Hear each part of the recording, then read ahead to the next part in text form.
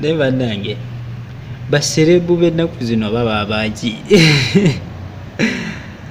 Ah, obubaka obusembayo bugenda wa mwami davido.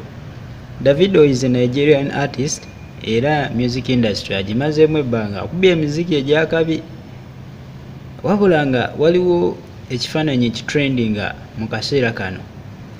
Ekifaananyi kino njagala mukirabeko ekyo. Ekifaananyi ekyo kitrendinga nnyo. Davido akutte essimu naye ng'omukono guli mu mpale. Kati abasinga bagamba davido yeekuba akasabbuuni.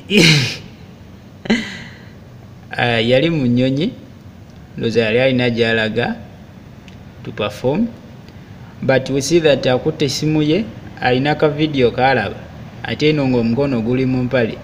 Kwegamba alinga eyeekuba akasabbuuni.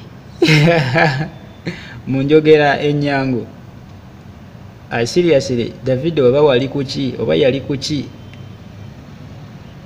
teri ayinza kumanya. Naye nga kyonna kyekiri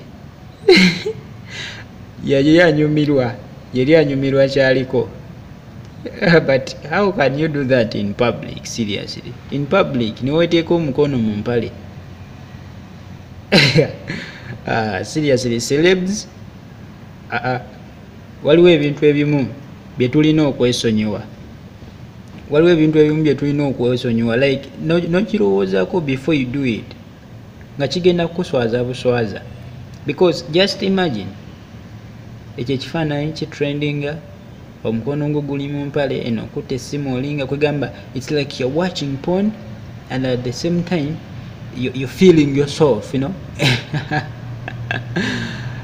Nebaddaye obulamu bw'abasiriivu kwegamba si bwangu si bwangu bwakumentaininga naye nga davido nkutumiddeko nnyo muganda wange gwasinga mu kino ekintu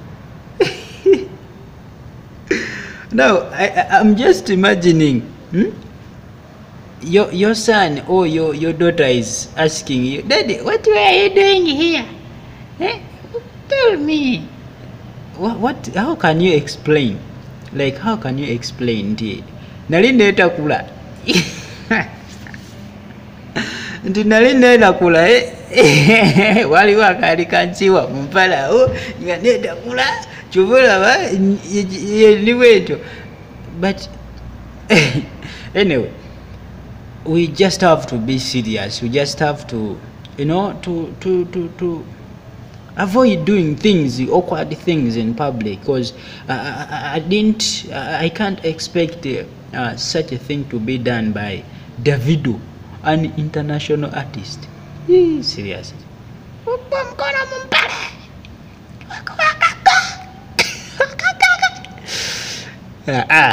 tekisoboka but anyway that is it. Yes eyo yesitole ekutte akati wiiki eno yes david okikoze munange okikoze i should say kyona kyona kyewabaza kituufu ki- kikutteyo sebo webale nnyo webalire ddala a certain lady on facebook was asking for you. And I don't know whether she can get you, but she's in need of you. Because the way you looked, she wanted to to rescue your situation. Yes, she wants actually she wants to to, to make sure that you're you're safe, such that next time you don't do such. ah, my friend, let me sign out. I'll be back with more stories. This one has just been a brief story. Make sure you subscribe to my channel, Uganda Yarero Media Channel. Follow us on Facebook, Uganda Yarero. Follow us on Twitter, Uganda Yarero. Uganda Yarero basically bwetyo. Uganda Yarero bwetyo. Okitegeera? Uganda Yarero bwetyo. erimu ebisesa erimu ebyewuunyisa erimu ebinyiiza erimu buli kimu Mm, nze wendi obakakasa ki uganda yaleero ejjudde ebyewuunyisa obiba yeggwe but anyway enjoy your year 2018 james cat uganda yaleero i love you so much. Mbagala nnyo. Kitegeera. Teri ansinga kwagala. Ate bwosharinga vidiyo eno gwaba asinga kitegeera. Bwosharinga chano yange gwaba asinga kubanga onyongeramu amaanyi.